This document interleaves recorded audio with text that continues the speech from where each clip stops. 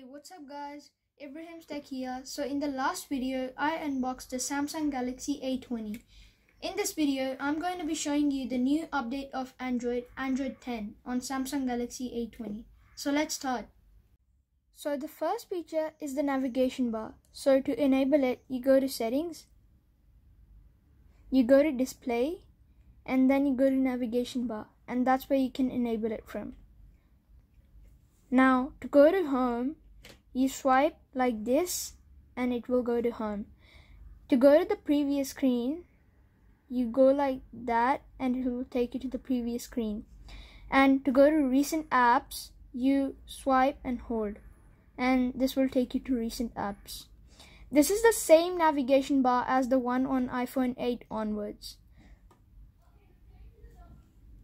So the second feature is the new enhanced dark mode. So this is where you can enable it from.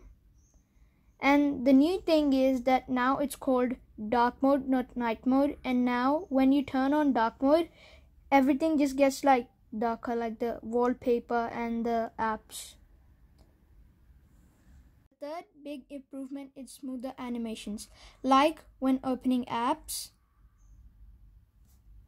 closing apps, and going to the previous screen.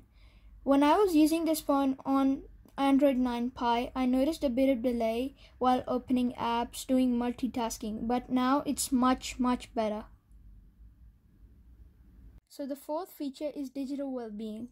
Now you can set goals for screen time and now parents can control what their children can have on their phone. It's this one.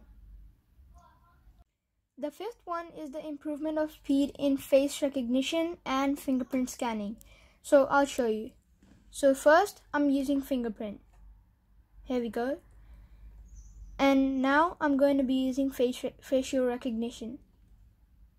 And here the phone's unlocked. So when I was using this phone on Android 9, there used to be a delay when opening the phone, but now after the update, the phone in unlocks in a split of second.